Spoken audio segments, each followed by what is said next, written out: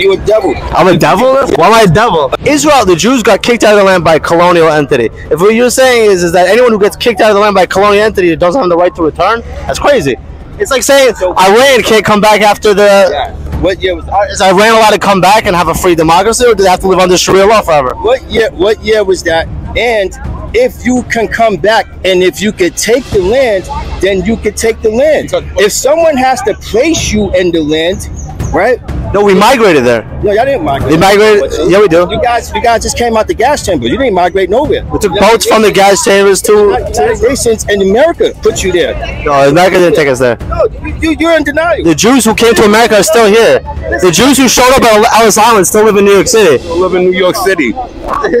You asked Oh, about you know what Jesse Jackson called New York City? Why he can't never be president? He calls New York City Hymietown. No, no, you can't be president, sir. You can't talk like that. Hey guys, you guys gotta check out me and me and Rasheed are gonna do a vlog in uh in the Temple Mount in, in Jerusalem. All right, that's cool. Only love, guys. Only love. Hey, you go to Jerusalem.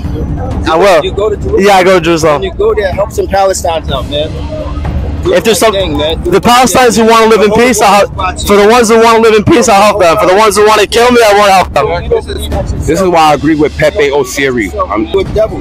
You don't see it. I'm a devil. Yeah, you're a devil. Why am I a devil? A devil is a person that has evil thoughts. If we go I don't have any evil thoughts. I want God peace. No, I don't. I wouldn't. I would want to want people. I wouldn't want to help somebody if, if they're trying to harm me. If they want to, the whole world. if someone wants to kill me, I don't help. Hello, Mr. What's up, dude? I I love you, Mr. Netanyahu. I love you too.